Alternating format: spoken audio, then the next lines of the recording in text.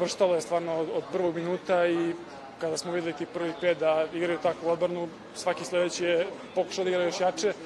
i mi stvarno napad imamo dosta talenta i kada igramo ovakvu odbranu, onda u napadu nemamo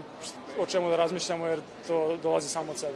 Protiv ekipe kao Litvanija mora da se odigra tako i danas su stvarno svi pokazali kvalitet i svi su odigrali pametno i stvarno zaslužena pobeda za nas i nadam se da ćemo tako odigrati u polufinalu.